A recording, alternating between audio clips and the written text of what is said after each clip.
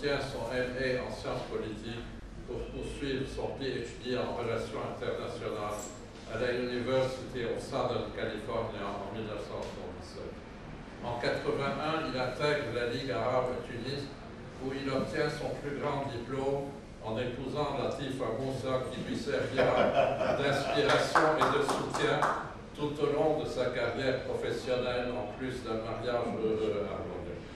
De 85 à 90, Nassif est en poste à Ottawa pour être ensuite transféré au siège de la Ligue arabe au Caire comme conseiller diplomatique du secrétaire général de la Ligue arabe, Asmat Abdelmajid. De 92 à 99, il enseigne aussi les relations internationales et les questions du Moyen-Orient à l'Université américaine du Caire et dirige le périodique publié par la Ligue arabe. De 2000 à 2013, il est ambassadeur de la Ligue arabe en France et auprès de l'UNESCO.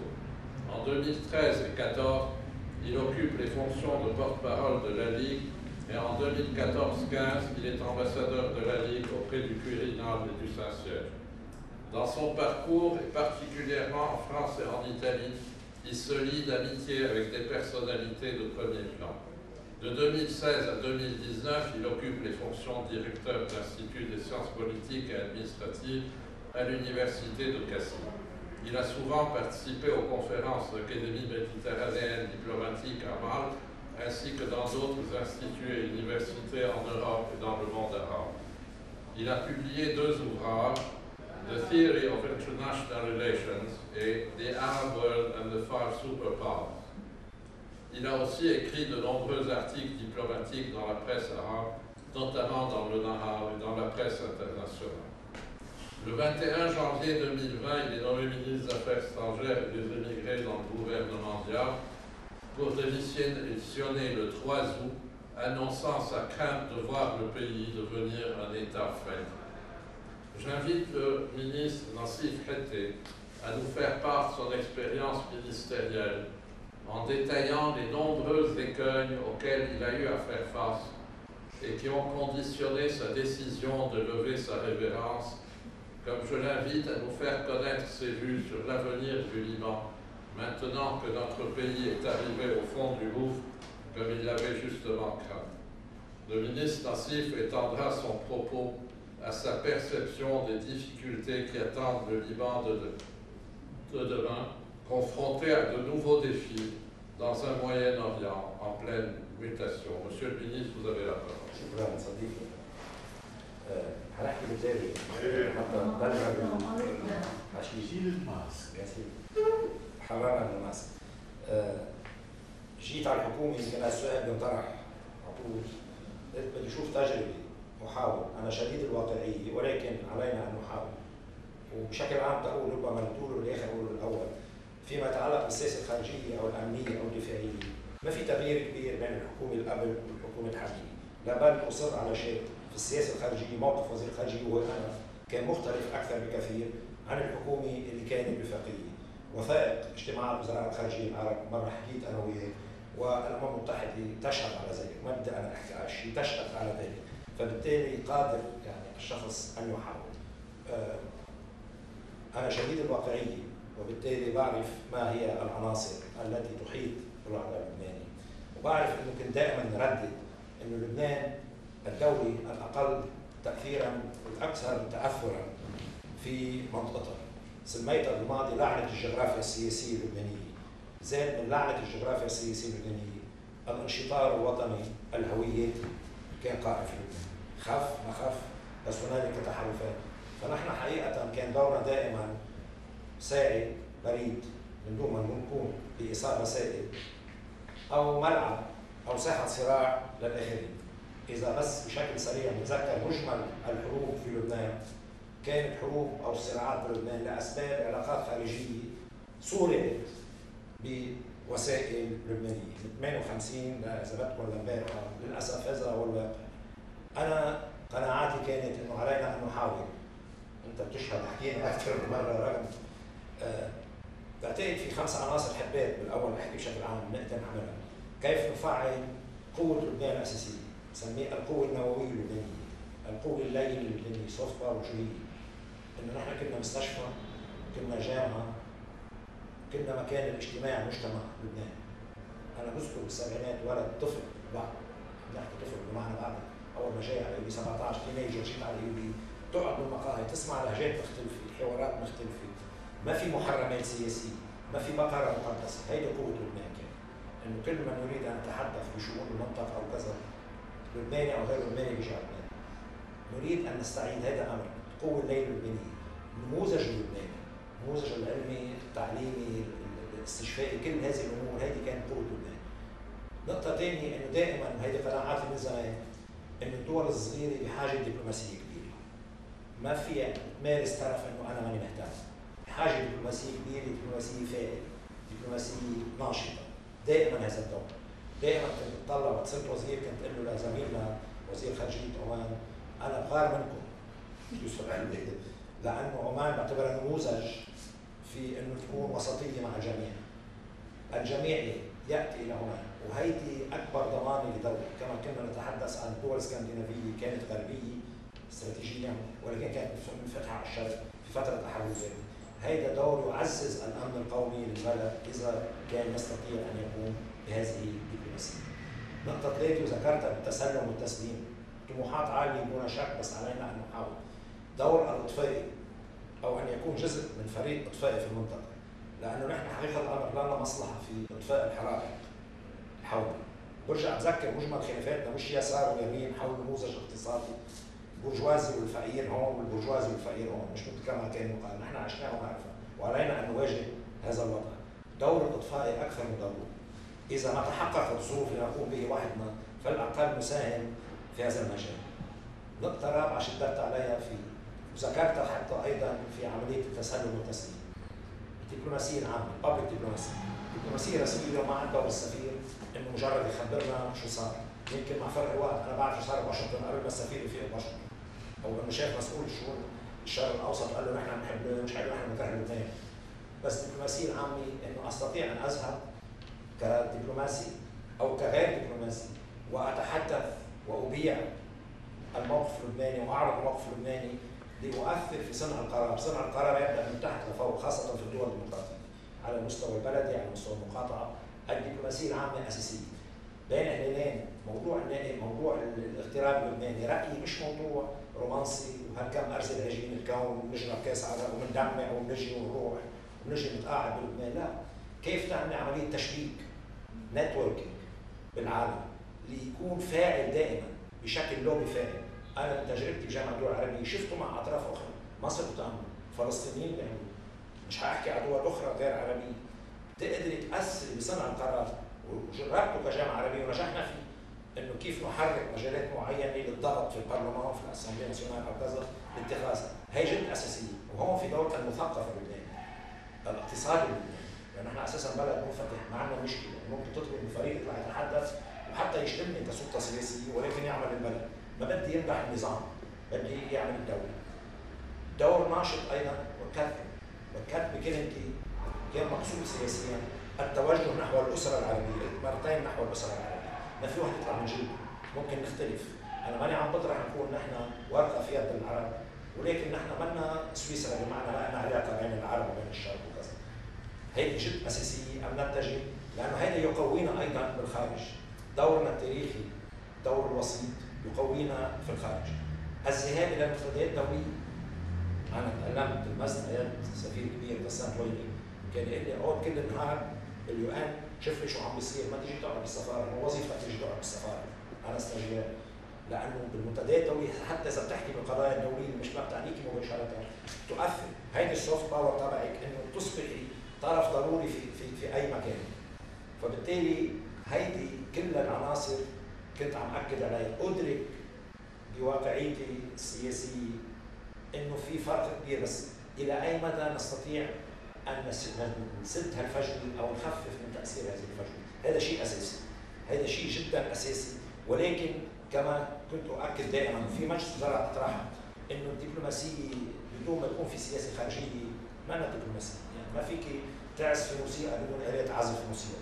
ما هي قواعد السياسة الخارجية اللبنانيه وهون بنتقل بشكل سريع للداخل حاولت أطرح فكرة لكن طبعا ظرفين قصر عمري في الوزارة اللي أنا قصرت. وأيضا وضع الكورونا وليس للتبرير. حولنا يعني شركة سفريات لناخذ اللبنانيين وتعاد اللبنانيين بلحظة من اللحظات بس طرحنا فكرة انعمل white paper على الأقل ما يسمى شو يعني؟ إنه ما هي القواعد التي تحكم السياسة الخارجيه اللبنانيه سواء حكم زيد أو عبيد بالسلطه في قواعد في reflex الدولتي. أنا عشت بمصر 13 سنة. مش عم أحكي لكم على الدول الغربيه ممكن يكون بهذا الاتجاه أو ذاك المصري بيقول لك مصر عاوزة كده. في رد فعل الدولتي. reflex بالإبداع. هيدا الدولتي. وبعدين بنترجمها. بعدين ما بنشتغل بالمقطع. ما بنشتغل كما كنت ذكرت مرة بورقه نشرتها ب 89 السياسات الخارجية للطائفيات السياسية في لبنان للأسف. نحن فيدراليه طائفية سياسية بلبنان، اليوم سفير بيشوف وزير خارجية بلبنان بقول له فورم يعني للشكل بروح عند كل واحد بيقول له هذا معي وهذا معي وهذا معي. فهذه أمور أساسية جدا. جئنا إلى الوزارة. أنت بتعرف وحكينا يعني حاولت نشط وضع مش حاول عميل مسؤولية. إنه اجتماعات دورية لتنشيط الدبلوماسيين. اطرحوا. أفكار. ما بدي دبلوماسي يرسل لي بالخارج شو قالوا لنا عن لبنان. هيدي بنقدر نعرفها درس لي شم الريحة السياسية. Have the smell of the street. شو القضايا الأساسية المطروحة بالبلد؟ كيف نستطيع أن نستفيد منها؟ كيف نستطيع أن نبيع أو رسالة؟ كما فضل position libanaise بالأمور. هذه الأمور حاولنا نتحرك عليها. وطرحت بكل تواضع موضوع الحياد الإيجابي الناشط. دعاني آه، دعتني لجنه الشؤون الخارجيه فرحت تغري مباشرة. ياسين جابر صديقي عم بيقول لي إمتى؟ قلت له اليوم قبل بكرة. فت على اللجنه اروي لكم دقيقتين. قلت لهم أنتم كل واحد بيمثل طرف سياسي مع احترامي للجميع. وأنتم كلكم أقوى مما أمثل أنا الدولة اللبنانيه بس أنا الوحيد الأمر الشرعي. الشرعية القانونية الشرعية أنا بملكها واحد وبالتالي ما عم بطلب من حدا من طرف ينغرم. أي مكون سياسي لبناني وعارفين حالهم موجودين ينغرم. مش يحب. بدوله صديقه للبنان بطلب منه ما أسميه إجراءات بناء الثقه من خلال الامتناع يعني برمشن إنه أنت اليوم مش ما لك حق تسد دوله صديقة للبنان أو تدير لبنان يصبح عدو لتلك الدولة الصديقة. هذا الامتناع توافق الحد الأدنى الممكن وإلا بيكون كذب. المضحك أقول مصر على المضحك إنه الجميع جاي متوافق معك. أنا كان عم بحكي بلغة ثانية أنا ما فهمت شو حكيت أو شيء كلهم بوصوني وإنه إيه وعظيم وهذا اللي بدنا اياه أنا ما عم بطلب منك تشرح ثيابك العقائدية أو المصلحية أو السياسية. بس السياسات بتتغير. أنا لا أريد أن أنتقل من حضن زيد إلى حضن عبيد أنا دعوت انه لبنان له مسؤولية المنطقة العربيه مثلا اولا. ولكن نحن نحدد المسؤولية. ما حكون هانوي لكن أنا ماني سويسرا بمعنى ما لي علاقه موقفين ما في ولكن أن نقوم وسطيين في مفهوم الحياد الايجابي طرحت وهذا اللي عم بتحدث فيه طرحته بمجلس الوزراء الخارجيه بس بكل صراحة للأسف ما كان في هذه الاهتمامات في هذه المواضيع إنه نحن فلنبلور قواعد الحد الأدنى الممكن للاقتصاد، لا أستطيع أن أذهب إلى الدول العربية وأطلب مساعدات في الوقت اللي يرون فيه إنه أنا مجرد بلاتفورم للتهجم عليهم أو للهجوم عليهم. مش ممكن هالشيء هذا ابدا. مش عم بقول انتقل هون. اتي إلى الوسط عبر سياسة الامتناع ومش أو عبر محاولات اتخاذ مواقف وهذا قررت قلت الحل الايجابي الناشط في فهمي أن تكون هناك قواعد تحكم العلاقات بدنا نظام دولتي يعني étatique بالمنطقة مش supra étatique مش نحكي فوق راس الدول. يعني اليوم دولة عربية أعطيك مثل بسيط جدا السعوديه هوجمت ثلاث مرات خلال وجودي كوزير خارجيه قصفوها الحوثيين عدمت هذا الأمر. سألني بعض بس السعودية آه، بتلعب دور في اليمن. قلت لهم في اليمن في حرب أهلية على الطريقة اللبنانية ما في حدا مش موجود. وحل الحل ضمن إطار الأمم المتحدة وحسب مجال الأمم المتحدة. لكن أنا بعرف بالكتاب مثل ما بيقولوا الصف الأول من العلوم السياسيه إنه عدوان على دولة من خارج الدولة. حق هذه الدولة بالدفاع عن نفسها. ونعتبره عدوان على هذه الدولة. فبدنا القواعد الحاكمة للعلاقات بين الدول أن تعود بشكل معين. هذا نستطيع أن نلجأ الحياد الايجابي ما سلبي بمعنى إنه أنا ما بعمل شيء ما بتدخل مع حدا اخذ هاي المواقف؟ حاولنا جهدنا بكل صراحة. وكنت اخذ مواقف أحيانا بعرف أنا بسميها توريطيه التوريط يعني. بس كنت شوف إنه الوضع على الأرض يذهب في الاتجاه المعاكس مش ممكن مع بداية الأزمة وانفجار الأزمة تداعيات الأزمة. وما بصير وبتعرف كنت حستعيد بشهر خمسه ما تركت بشهر خمسه لأنه كان عندي ملفين منهم. تحضير لل FINUL وبتعرف شو بتاخذ تحضير ال FINUL مش وقت بس التصويت مش مرينا فترة. ومساعدات أيضا. ملفين ثلاثة شوي حساسين. علي كوزير خارجية إنه احاول رتبهم قبل ما أترك. لا يتعلقوا بهذا الحزب أو ذاك الطرف أو هذا ال... فلكن الوضع كنا في محل ثاني كليا. يعني ما يجري على الأرض من سياسات واقعية على الأرض. يذهب ضد ما أتحدث به. يعني عندما كنت أزور قبل طبعا قبل الكورونا شاءت الصدف إنه تجربتي قدرت احضر اجتماعي وزراء خارجية عرب، واحد دورة عادية، واحد كان دورة على صفقة القرن، وأيضا آه، مؤتمر وزراء الخارجيه بجده منظمه التعاون الإسلامي. وأقوم بزيارة فرنسا. طبعا كلنا بنعرف يعني اللقاءات المتعددة الاطراف أهميتها وين؟ ليس الجلسه العامه، إنه فيك تشوف على جنب 20 وزير أو 30 وزير خلال هاليومين ثلاثة وتتحدث حقيقة الأمر مباشرة. غير الدبلوماسية التليفونية كلنا أجدناها خلال الفترة اللي عشناها. كل العالم يعني. إنه أهلا وسهلا فيكم بس يا جماعة طلعوا على الوسط. حتى مضحك يعني أحدهم قال لي تفضل أنت بتجي على بيتك بس أنت وحدك. قلت له ماني ماني جاي زياره عائلية أنت تجي لوحدك يعني. بمعنى في مشكلة. ما عم بقول أنا نذهب في هذا الاتجاه لنصطدم مع طرف له أصدقاء في لبنان لكن أن نأتي إلى الوسط يعني لا أستطيع أن أراهن على مساعدات. عندما نتحدث عن أنقاذ اقتصادي الأنقاذ الاقتصادي لا مش ممكن يتم في حالة فراغ سياسي. اليوم ما في طرف حيجي يساعد اقتصاديا لتقف على رجل اقتصاديا وتصحي اقتصاديا مشان تقص فيه بشكل أفضل سياسيا واستراتيجيا. فهذه الأمور اللي عملت مع يعني لا بلو دون فرستراسيون وبواقعيه شديده لنبني الحد الأدنى الممكن. بصراحة لم ننجح. أنا بقناعتي اليوم بقناعتي اليوم لا نستطيع أن نتحدث عن أنقاذ اقتصادي فعلي وسليم وانطلاقه دون أن يكون عندنا قبولية دولية. القبولية الدولية في هذا الموضوع مبني إلى قرارات دولية معينة. أستطيع أن أقف مع هذا الطرف وفي ذاك الموضوع أقف مع ذاك الطرف. ولكن يجب أن تكون قواعد التي تحدد العلاقات بين الدول. ومش حدا يحكي في رأس دولة. يعني أنا ما بقدر أتصور واحد يقول له لدولة ثانية كما نرى في المنطقة إنه أنت نظامك يا شرع يعني هذه النظام من الفوضى الإقليمية. أكثر طرف بيدفع ثمنها هو البلد المفتوح. مثل مش منفتح مفتوح. مفهوم الأمن وليس فقط الأمن العسكري الأمن السياسي والأمن العقائدي والأمن الهوياتي يعني إنه مجرد نحن ورقة مجرد نحن اليوم حجر على لعبة سموها داما سموها شطرنج. أنا بلعب داما ما بلعب شطرنج. قائمه قائمه في المنطقة. إنه بدنا نوجه رسالة بنوجهها من لبنان. بنتهي بس أعطي مثل إذا في مجال مساله يعني عندما تطرح استراتيجية دفاعية. ندخل بكم عدد دبابه لنختبئ وراهم. أو كم عم استراتيجيه دفاعيه مش كم عدد دبابه من يملك قرار الحرب والسلم؟ من يملك قرار ال deterrence وال compellence الردع مش قصة أبو علي بساحة الضيعه هيموت. قلت له أنا بعطي دائما مثل حقول بعز قوه النظام في سوريا الحكم في سوريا. حافظ الأسد مشى الأسد. كانت تأتي طائرات إسرائيل للاستفزاز. كان الرد يقول إنه نحن نوقت المعركة. نحن نوقت المعركة. وأنا مع هذا الموقف. سميه ما يخفي ما تريد. ما تجرب إذا من يملك القرار المفروض مجلس الوزراء يملك القرار فحاجه نضيع حالنا بعناوين بعناوين إنه بس يصير عندنا مدفعيات وبدنا كذا. أنا ما أنا وظيفتي أنا وقت بيجوا مثلا.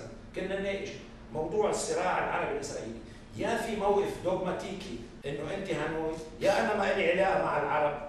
نحن أكثر طرف لنا مصلحة بعض الفلسطينيين بتسويه وبيتصور حاله إنه بيرتاح بدون التسوية الفعلية ما بيرتاح. لأنه عندك 100 مشكلة. طيب.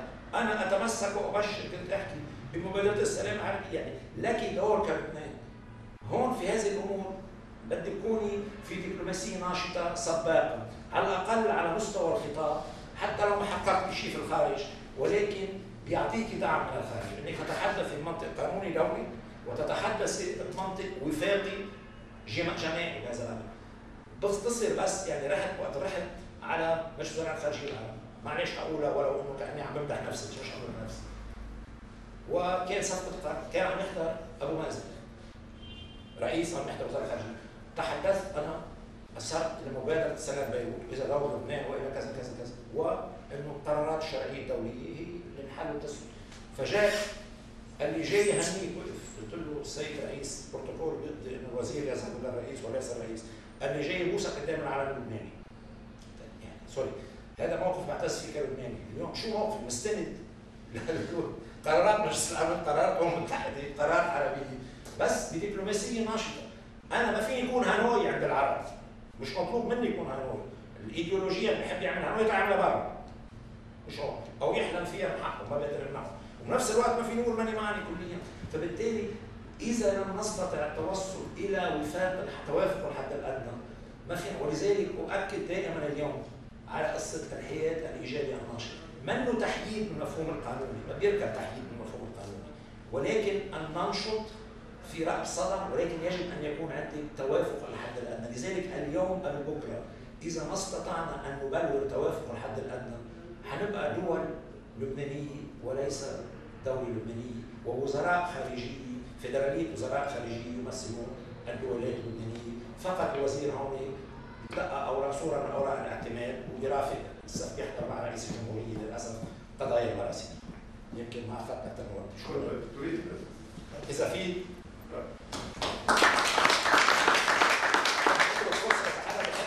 أفضل إنه أجيب عن أي سؤال. خبرنا كيف استقال آه أيوه أيوه. بس اسمح لي بس يوم هي قبل إيه إيه لا أكيد لا نفس السؤال. آه أوكي أنا كنت بس مين هشتلك؟ حجاوب. مين هشتلك؟ حجاوب. هقول لك بكل صراحة تسمع أمور كلها ايا كان رأيي. أنا شوف وقت دخلت وقلت وبيان استقالتي تعبان بالاخر اللي جيت أعمل عند رب عمل واحد شفت أرباب عمل. اولا هشلني مش ضمن وزارة الخارجية. أنا جيت ماني مثالي. برنامج الحد الادنى وقلت له رئيس وزراء بعد أسبوعين. قلت له في عندنا لحظة تاريخية. بدنا نفوت ببيبان إزاز. طريقة فاسون نجرح حالنا. يعني تحقيق بعض الإنجازات. إذا نجحنا ندخل التاريخ ننقذ الوضع. وإذا ما نجحنا نستعيد بكلامه فدخلنا بحكومة تقليدية مثل سابقاتها.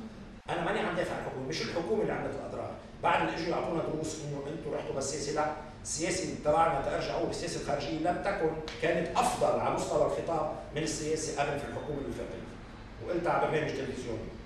كانت أفضل.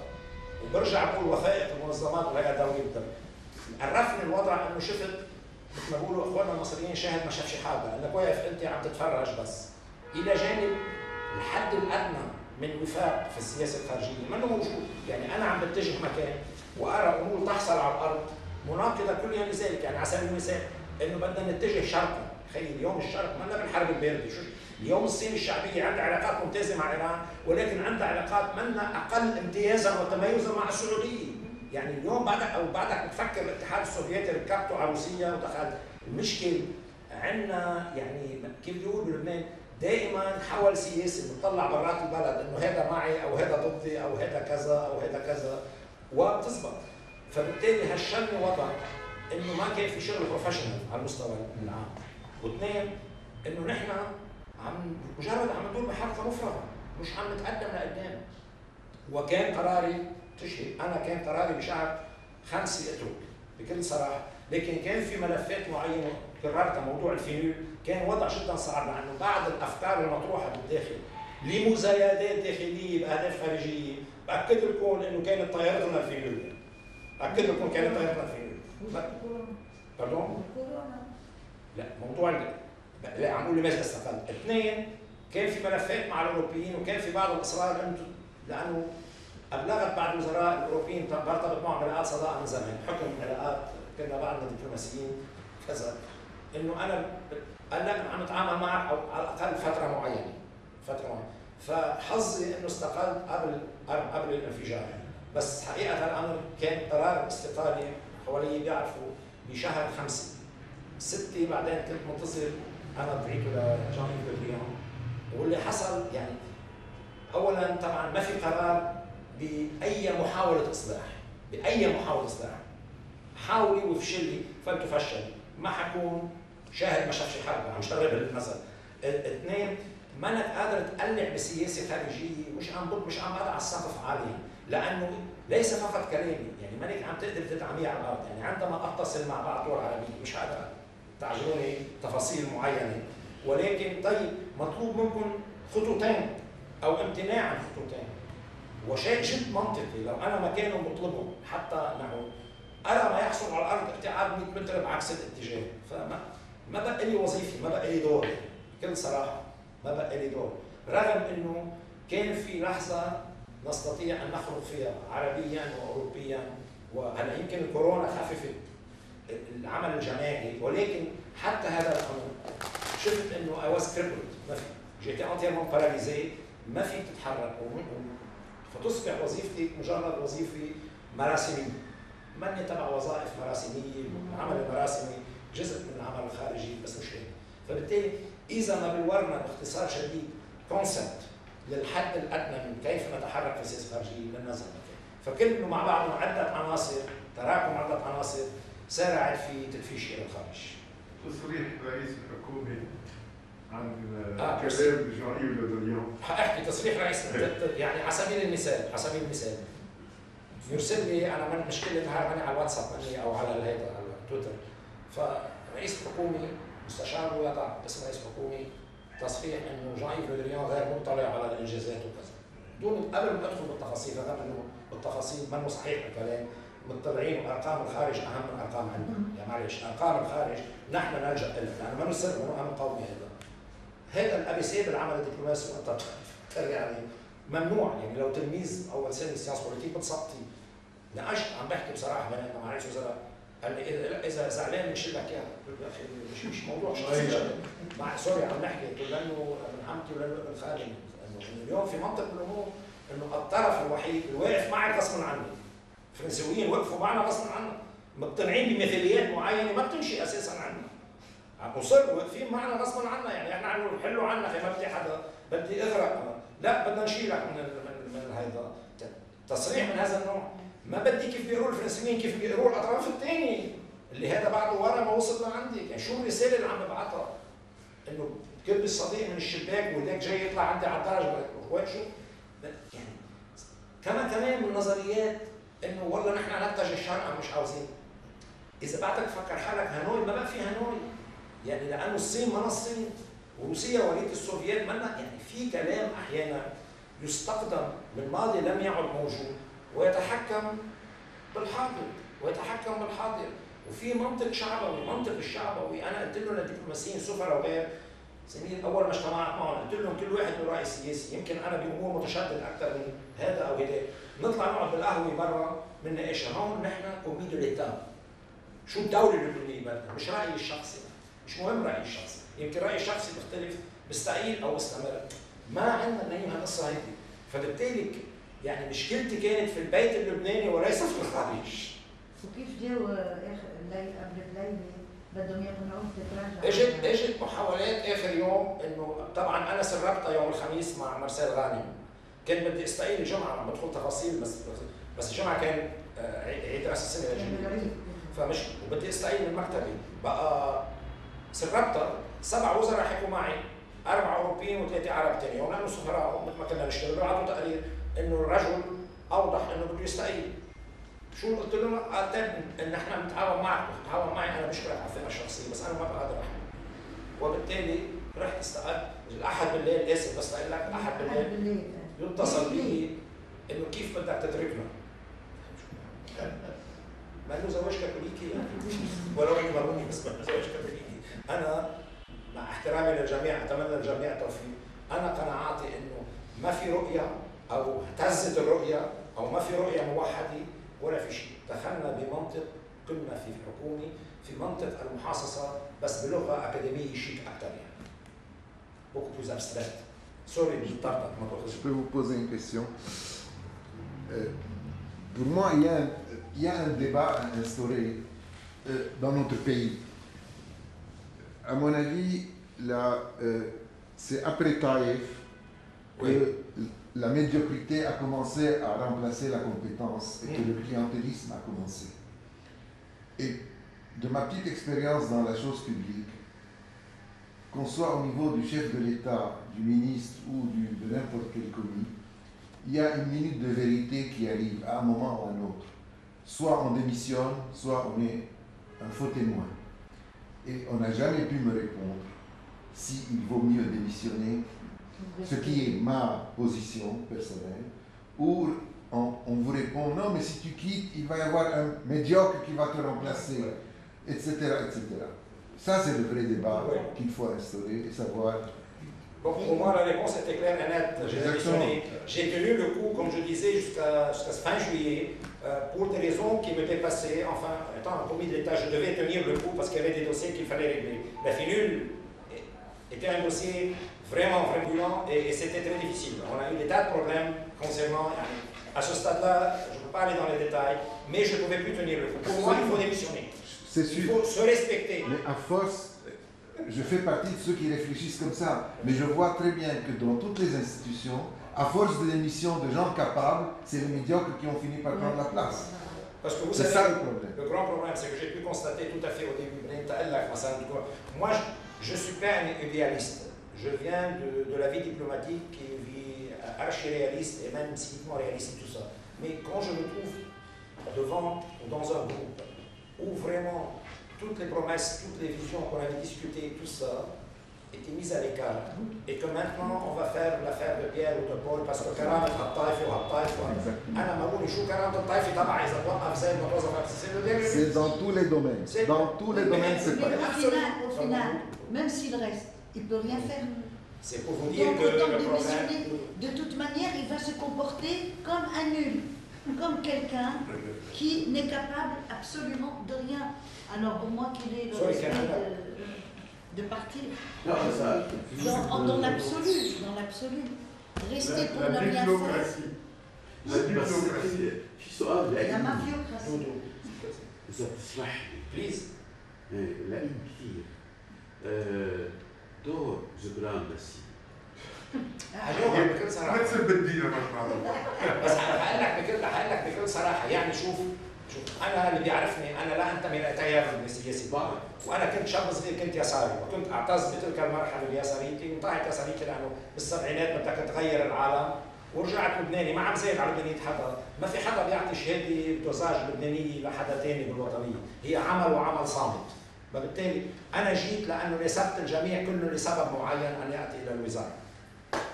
فلا أحمل بطاقة لأحد ولا انتمي لاحد واضح جدا الخطاب السياسي لا يلتقي مع الخطاب تبع سلفي. يعني بكل صراحة وعندما كان يخطب وكان رئيس الوزراء السابق والعائد لا لا يعلق. أتحدث بكل صراحة في الجامعة العربية موثقه إنه كل واحد عم يعطي رأيه. لا أنا كنت في مكان آخر. ما صار عندي مشاكل لسبب مش اورر وزير غسيل أو ما لأنه ما في مجال. نحن في وزارة الخارجية. ربما عند التشكيلات بيعرف عند التشكيلات سيأتي عدة زعامات لبنانيه بس ما ما وصلنا للموضوع هيدي لسبب بسيط جدا إنه كانت قصة ترف فكر إنك تفكر بالتشكيلات الدبلوماسية. لكن التدخل إذا بتقلي في موجود موظف سمعت الكثير من الكلام. يعني في الإدارة بغض النظر شو رأيي بهذا أو ذاك أنا اولا بكل صراحة كنت يعني شو بدك وزير الخارجيه؟ مين اللي عنده بيجيب له القهوة وبيطلع له القهوة مش مثلا عم بتقول هيك. شو تصريحه وشو موقفه؟ تصريحاته ومواقفه تشكل قطيعة حتى مش تحول. مع تصريحات ومواقف سبقتني فهذا هذا أساسي. هلا لن أنفي إنه ربما لو دخلنا بعد ذلك في تشكيلات هون بتصير التدخلات؟ مش على أي وزير بتصير هون التدخلات. أما بمجلس الوزراء طبيعي المكونات السياسية اللي ساهمت في تشكيل هالحكومة هيدي كانت هي طبعا تتقاسم القرار فيما بينها في التعيينات. ولكن ما أود أن أقوله وليس لا أدافع عن حكومة أنا خرجت منها. إنه ليست اسوء مما سبق في عملية العدد بال- بالقصة. تنكون صريحين. تنكون صريحين يعني. تنكون صريحين المجال فبالتالي دون شك هي يعني مشكله لبنان مشكله كما ذكرت فيدرالية من الطائفيات السياسية. كل واحد يصادر إما بيكون وحده أو بتكون ثنائية. وإذا براتي أنت خارج الطائفة وخارج فيدرال هذا الواقع الأمر. وكما ذكرت ما, حبيت أخذ وقت والتفاصيل إنه اليوم واحد بيقول لك نحن ما لنا علاقه بهودي واحد يعني اليوم نظرية مطروحة في لبنان أعتقدها من أخطر النظريات تحالف الأقليات. هذا مشروع أحلى مشروع واسرع مشروع للانتحار ولنحر المسيحيين. صحيح. لنحر والانتحار Absolument. ليه حبيبي؟ أنا كنت بجامعة الدول العربية أوكي؟ أنا رجل علماني بحكي لك. من أب ماروني وأم أرثوذكسية بروح على الوهميه نحن دورنا أساسي واول دورنا إنه كنا جسر بين العرب وكنا طبيعة العرب. مش العرب معناتها انه ما ننظر نظرة عرقية بيجوك وتجي ومش معناتها تخضع لأحد. وبين الغرب. جسر تواصل مركز علمي مركز حوار. ما فيك تطلع مش انت تروح بمنطق. هل تعتقد من يتحدث عن تحالف الاقليات إنه الأطراف الطالبين منها تتحالف؟ عندها تندنس سويسيدار مثل تندنس سويسيدار عندك؟ ابدا. يعني في هيدا خطر النظريات هيدي. خطر نظريات تحالف الاقليات بدك تبني الدولة المدنيه هذا حديث ثاني الدولة المدنيه لها شروطها الأخرى. ولكن عندك الجاندران نحن فيدراليه من الطائفيات السياسية. بيكون عم ينطق الطائفية السياسية للآخر بيكون عم يطلع بالمراية. ولذلك الطبقه السياسية اللبنانية مصابة بحول سياسي. في عندها قدرية سياسية. إنه هلأ اليوم بس بدش تاخذ وقتكم. واحد بيقول لك خلص بايدن بكره حبيب إيران حنركب. والثاني بايدن ضد إيران حنركب. دائما امرأة بينسوا إنه بنهاية الأمر ممكن يصير توافق خارجي على حسابك عشناها. طيب الطائف الطائف أنت طب أنت ما هو الطائف أنقذك وقت عمل الطائف. بس الطائف لأنه نحن يعني قاصرين سنيا من الطبقه السياسيه بدك دائما ناني تمسكك وتاخذك وتجيبك. فلزم لا سوري وبعدين صار في اختلاف. وبدون ما ندخل بالتفاصيل كلها اليوم بقول لك سب على هذا بتسب ثاني يوم بتفق معه بقول لك روح لعنده. ماشي الحال سوري عميد. بعد. بصديقتك كوزير خارجية. مؤخرا يعني علاقاتك مع غرب شرق العرب. وظائف لبنان الجديدة لو اللي فونكسيون ليبان كيف بتشوفها؟ شوف أنا بهمني نرجع نستعيد أدوار كنا نقوم فيها في أدوار جديدة متجددة. بس أنا كنت بضلني أشوف لبنان صله وسط. كنا عم نحكي. ومجال حوار دائما. ومنتدى حوار.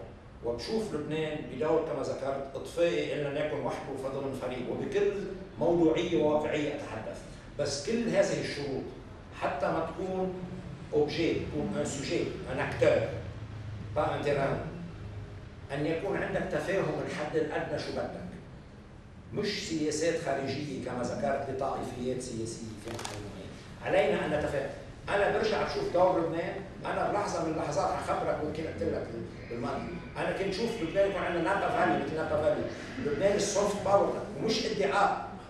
إيه إيه إيه بس عم بحكي عم بحكي لك من التسعينات من التسعينات كنت ما زلت مستشار أمين عام الجامعة العربية. يعني ما لي علاقة ولا أي شيء. إنه عندك قدرة أن تكون هذا الشيء في المنطقة. أن تكون القوة العلمية ال soft power تبعك هي هذا نفطك هذا قوتك النووية اليوم كلبنان. الانفتاح التعود التعدد التنوع. يمكن ما بيدركها اللبناني إلا إذا ابتعد النظر إلى لبنان. ولكن هذا شيء أكثر هذه الأنوار مطمح لها بس هذه لها شروط يعني اليوم برجع بقول نظرية إنقاذ اقتصادي فرنسا عم بتساعدنا وهي تدرك حدود. لا تستطيع أن تنقذ اقتصاديا وتبقى ورقة في الطرف في صراع استراتيجي في المنطقة. لا تستطيع. فبالتالي الشروط الموضوعية والكامله لدور ناشط قائمة عندك إنما تفعيلا يتطلب هذا الحد الأدنى من التوافق. يحكى عن فيدرالية أو حيادية أو أنت شو بتشوفها؟ شوف أنا أنا مع اولا بعيد عن كل أنا مع مركزيه إدارية لأنه مش بالضرورة واحدة يعني راست عليها اللي بيطرح فيدرالية مع احترامي لأنه بينسى شيء وحيد إنه الخلاف بين المكونات السياسية مش على بوليس البلدية بالضيعة أو على العمدة مثل ما بيقولوا أخواننا المصريين، السياسة الخارجية والأمنية والدفاعيه، يا أخي عملت فيدراليه وطائفة معينة تحررت من الجو، بحضر لها سياستها الخارجية بمكان ثاني. الفيدراليه ما أخطر أخطر الفيدراليه هيدا أنا أنا مع أنا مع كما ذكرت أنا مع شوف مشكلتنا دائما كنا عم نعيش بوضع معين تفاهم إقليمي بيعيش فترة طويلة فترة قصيرة بيسقط يعاد النظر. فيه يعني أعطيك مثل بسيط. أنا كنت بسان سان كلو كان في لحظة تاريخية كان ممثل الجامعة العربية كوني كنت سفير باريس. جابوه الفرنسيين بوشنير بتستحي كيف حطهم حكوا مع بعضكم معكم هلا تتفقوا على كل ما أطلع برا يوقفوا الاجتماع لأنه بده يشاهد إنه الجامعة العربية موجودة عند البعض حساسية إنه قاعدين عند الفرنساوية. قعدنا كل وقت اجتماع اتفقنا. فشل كل شيء. رجعوا راحوا على الدوحة. يعني دائما ما نتهم الآخر. هنا يعني هنالك استجداء لبناني لتسوية تأتي من الخارج إلى الداخل. ما طرحوا البطرك على الحياد الإيجابي. شو رأيك؟ أنا عم بطرحه. بالعكس. إيه بس عم أنا برأيي هذا الأكثر شيء واقعيه الحياد الإيجابي مش الحياد القانوني بس في السياسي. الحديد الناشط. بالضبط.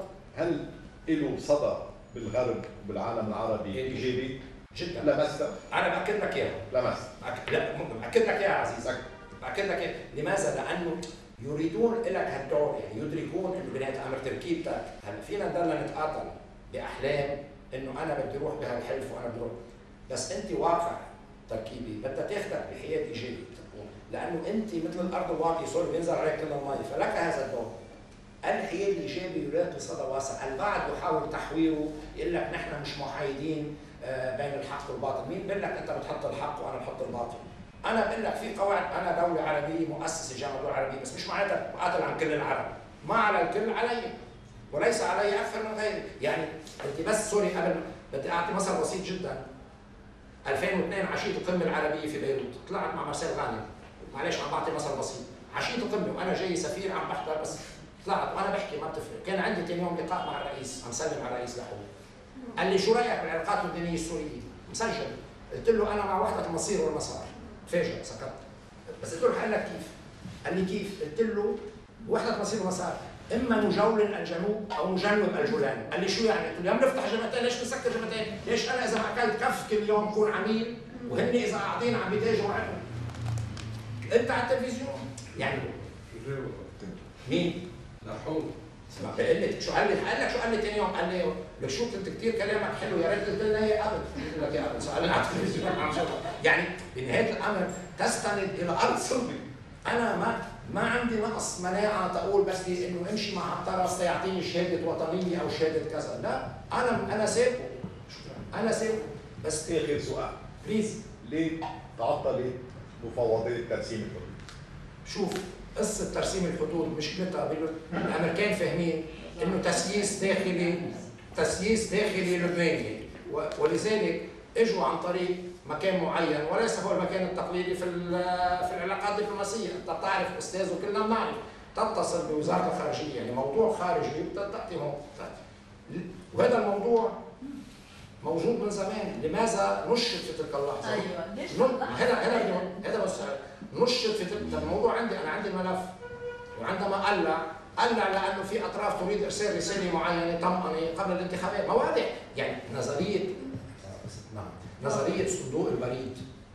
قائمة للبنان من زمان. بكل تواضع من 89 ما بدي ابين إنه عم كرر حالي أتحدث عن وظيفة آه، صندوق البريد آه، للآخرين.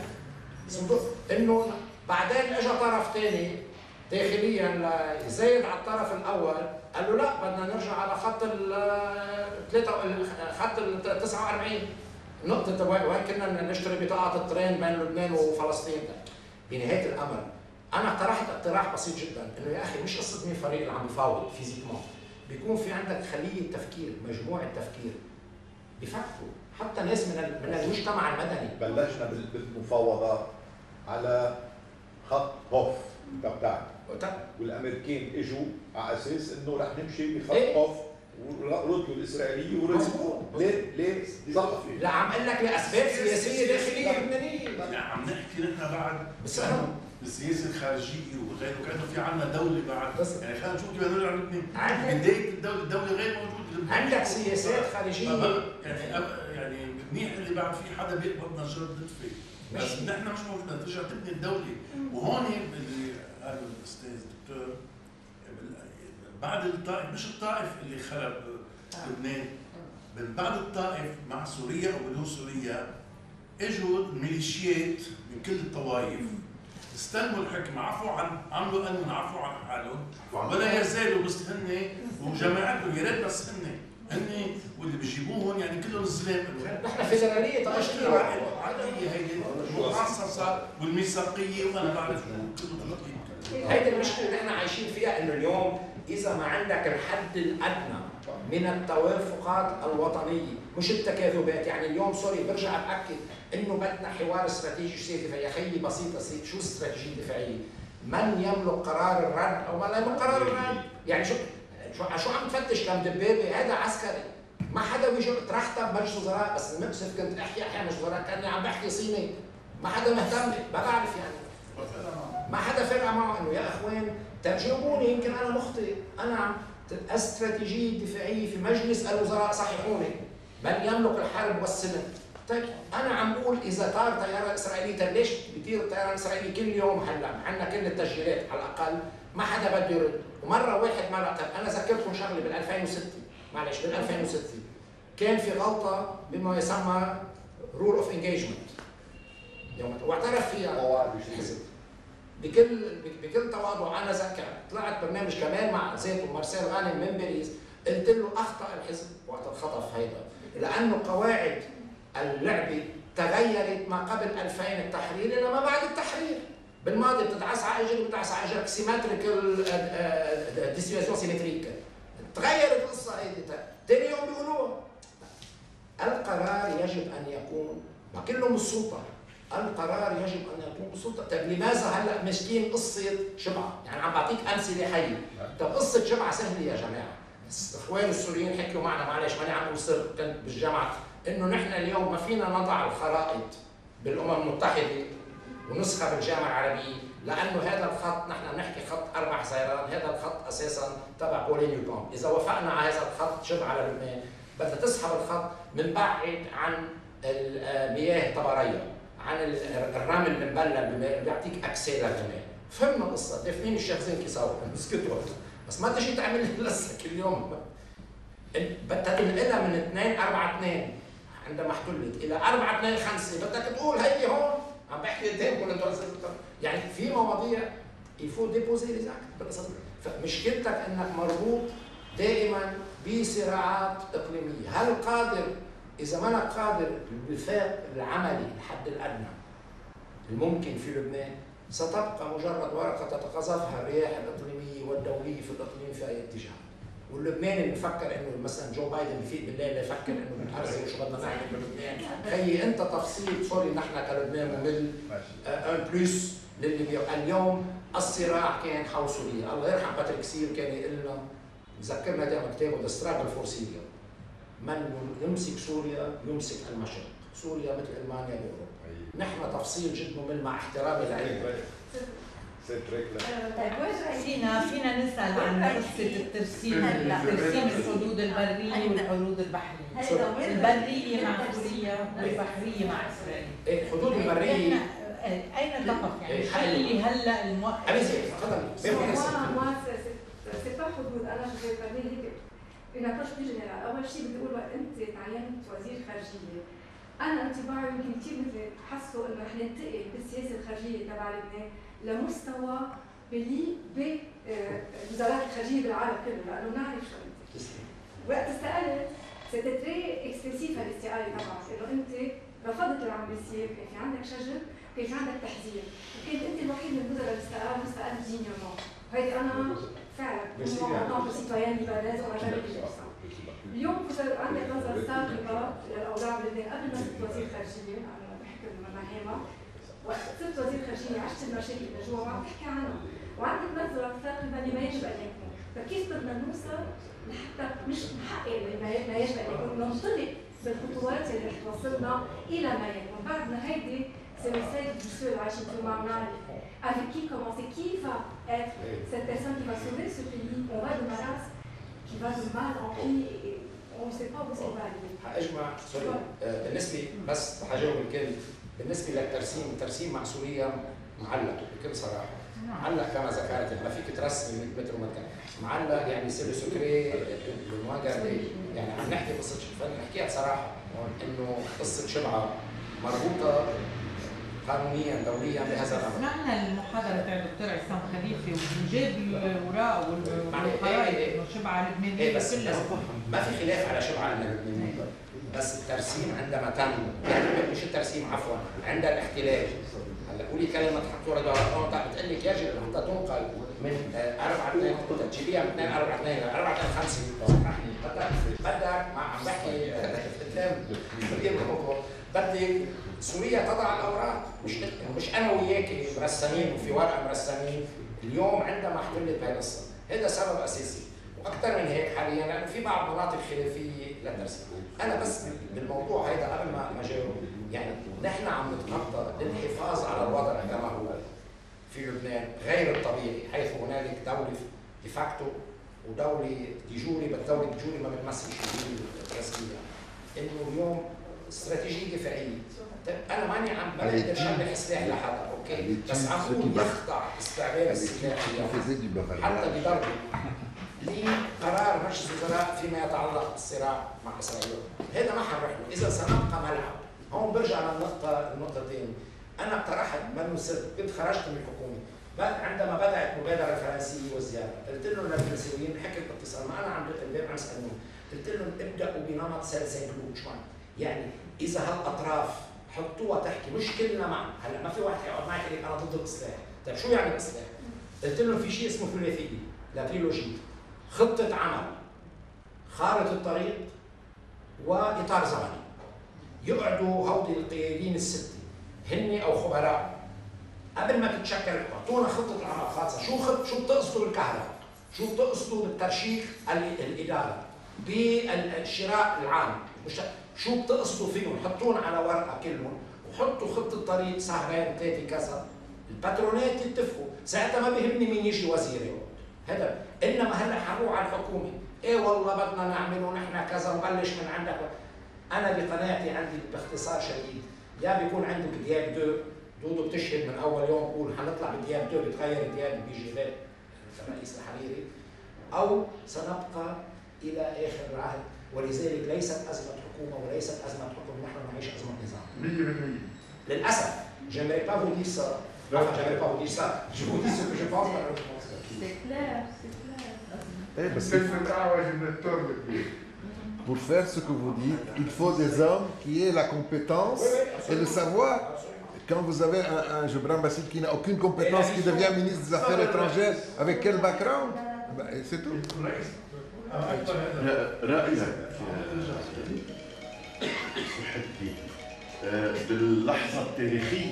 رأيك باللحظة التاريخية اللي المشرق العربي عم بيعيشها والتطبيعات ما بين اسرائيل والدول الخليجية والسعودية. أه وين مصلحة لبنان؟ مش إنه نتفاهم مع إسرائيل. إيه بس ان تكون تجاوب بصراحة. ما فيك تثبت بسبب الانشطار اللبناني. انت بعيدا عن مشاعر كل طرف. دون لابسولي إيه دون لابسولي أنت مصلحتك اليوم أن يعاد تحريك الملف باتجاه تسويه أو أن تحمي نفسك بأن تبقى بعيد عن الهيدا ما فيك تذهب أنت دولة فيها انشطار، الدول اللي فيها 200000 شخص مع احترام لكل الدول. أو الدول الأوتوريتير.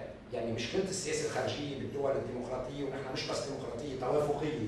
إنه بدك تاخذ موافقة كل أهل الضيعة لتشوف إذا بتفتح طريق أو تسكر الطريق كل واحد يسكرها بينما هونيك عندك دول أخرى مع احترامي بيروح على ايران بيروح على السعوديه وعلى الطريق بيروح وبيرجع ماشي الحال ما في.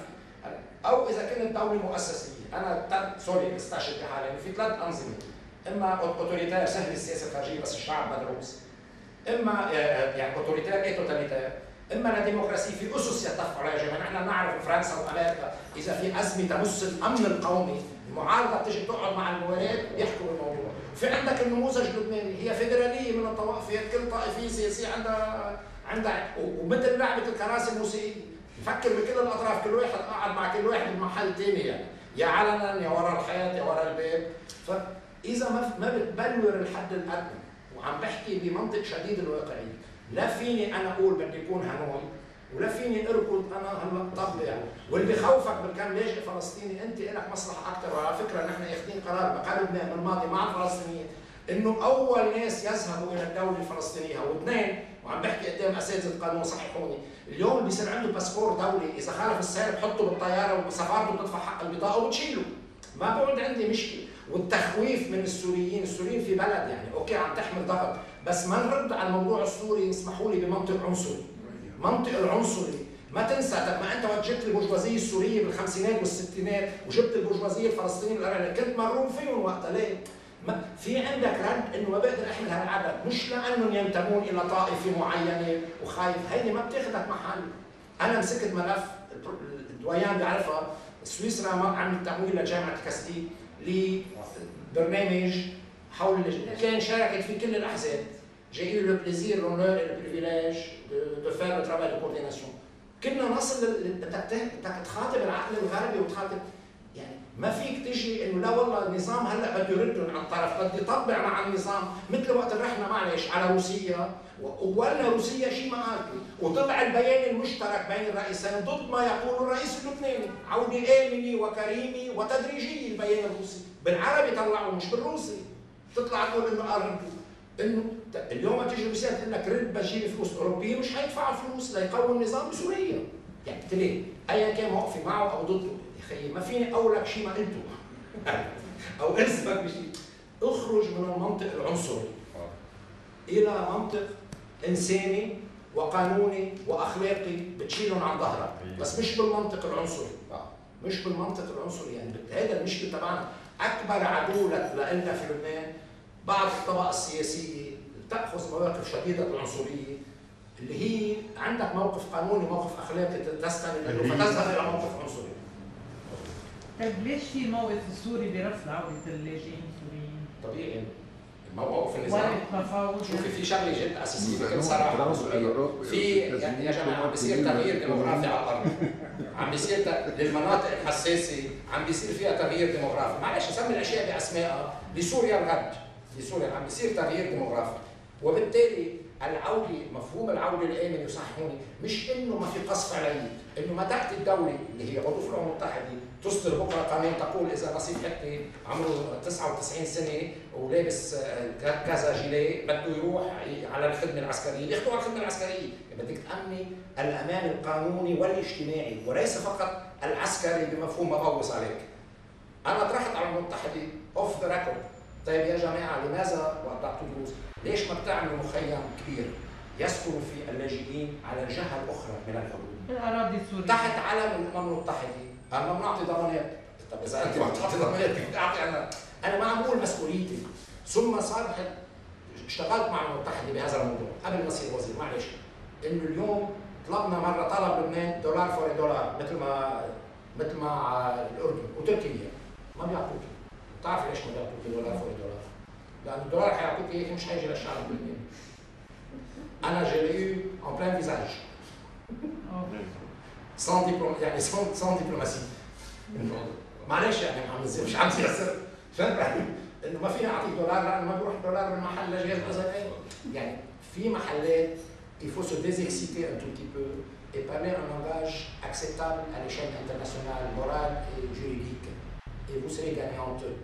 مش منطق عنصري أنا أقول شو الحقيقة بدي أرجع شوي للحدود البحريه إيه. إيه. ليش وقفت؟ الحقيقة.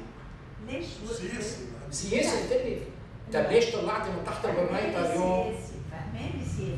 شو هي السياسة اللي وقفتها؟ السياسة حقول السياسة اللي وقفتها إنه مشيت بالإطار اللي كان ماشي من زمان. فعبده اعتبرت انه طرف اللي عطى الخط ضوء الاخضر تمشي. مشي. اللي هي كانت مشي هيك عم تتعقد إيه. كنا عم نتعقد خط هوف إنه لا ما بدنا إياها كلها لنا 850 صدر الموقف من الرئاسي إيه. بناء على قواعد قانونية واضحة بس إنه ما كانت موجودة بالعشر سنين الأخيرة للتسكير إنه النقطة الترسيم مش 23 أو واحد يعني نقطة الترسيم على الحدود حيث كان الحدود الدولية. الامتداد بين فلسطين وبين مش إسرائيل بين فلسطين وبين لبنان. وحيث كان في بعد على فكرة هذه الغرفة تبع سكة الحديد بعدها هونيك إنه هاي النقطة. إذا رسمت لهي النقطة بتروحي بس هذا موقف مش حتمشي فيها لا. ممكن ترفع السقف الهدف داخلي تسجيل على الطرف اللي بده يمشي. بس بس مستقبلا فيك تيجي تعمل اتفاق إنه استغلال مشترك بعد ما يصير سلام أو كذا. يعني في يعني في 100 صيغة بالآخر ولا كوادراتيوم بيساوي يعني تنعمل بعدين بس هلأ لأنه كله يخضع لمزايدات داخلية لبنانية. يعني برجع أقول لك منك لو دولة ديمقراطية تناقش بالبرلمان تناقش امام راي عام ويؤخذ موقف دولة لا خلص إنه أنا هالطائفة أو أنا ممسك بهالطائفه بضع فيتو. أنت عندك لبنان مجلس أمن في ست فيتو مش خمسة فيتو. في بلد ديمقراطي بيقول ديمقراطي في عنده بيقبل يكون عنده جيش. كامل تجهيزاته قاعد عامل دوري ضد الدوري ساكت بابا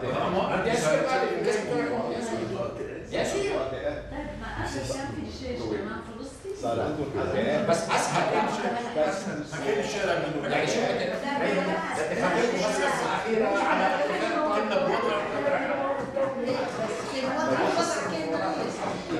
بس يعني تشوف بس يعني شو 69 معلش ما عم نزيع سر تبع اتفاق القاهرة. الله يرحمه. كلهم محمود رياض مسجلها بوثيقته شوفها مسجل. كان محمود رياض؟ هو مشرف بين عرفات والجنرال بتاع بستيني طبعا الجنرال معه تعليمات. كل الوقت يتدخل محمود رياض وزير خارجية سابق أمين عام جامعة سابق الريفلكس الدولي بمصر. إنه لا يا أخ عمار عم تطالب أكثر لا يا جنرال ما لازم تعطي هيك أنا سالت هون بقول له Alors, هو انت عم تفاوض عن اللبنانيين أو لبنان عم تفاوض شوف لو ريفلكس بتاع عند المصري لا لا لا ده مش ممكن تتخلى مسجل ورقيا والصورة الله يرحمه تسمع القصة. أنا استحق انبسطت كباحث وخجلت كلبناني إنه بس. سماع 20 مرة يعني. بس يعني تعرف بس يعني أخذنا عصمة على المجيد لسمعني شو شو ما تحكي. سوري يعني